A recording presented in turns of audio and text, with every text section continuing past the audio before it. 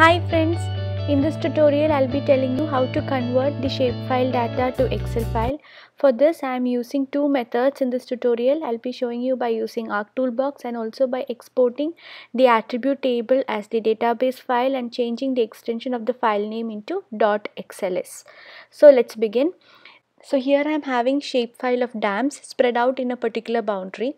So you can see the red spots they indicates the dam that is dams that are spread out in this particular boundary. Okay i'm going to open the attribute table of the dams. So now you can see a table with the dam uh, name of the dams as well as the various characteristics of the dams. Now i'm going to export this attribute table into the excel format. So let's see how we do that. So first method i'm using is by using the arc toolbox uh, so let's begin now i'm going to the conversion tools in arc toolbox and i'm selecting excel in that I'll select table to Excel because we have to convert to Excel format. So I'm going to select the input table as my dams file, shape file. You can give a name for your output file in a particular folder. I'm giving it as dams and you can save it in file format. Okay.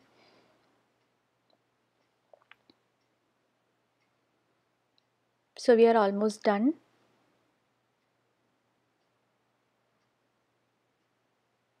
Now we have to go to the folder where we saved our output file.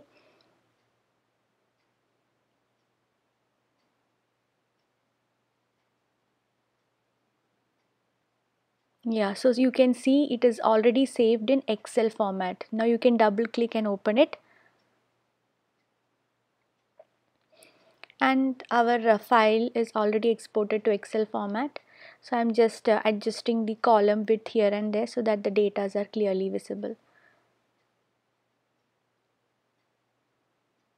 Yeah. So we are done. Now we'll go into the next procedure. That is by exporting the attribute table as a database file and changing the extension of the file name to .xls format. For that also I am opening the attribute table of the dams first now I'm going to click the leftmost button there. Yeah in that you can find an export icon. I'm going to double click on that. So here in export they are showing all records. If I want to export all records I can simply select all records and export them. Okay so if I uh, but if I want only selected records to be exported I can just uh, go ahead and select the records which are important to me and then uh, export it so you can see selected records will also pop up to get uh, to select. But now I want all records so I am selecting all records.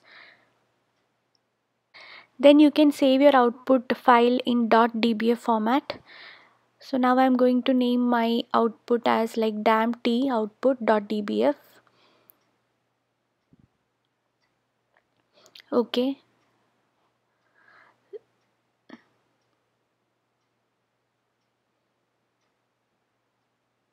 now you can uh, navigate to the folder where you have saved your file.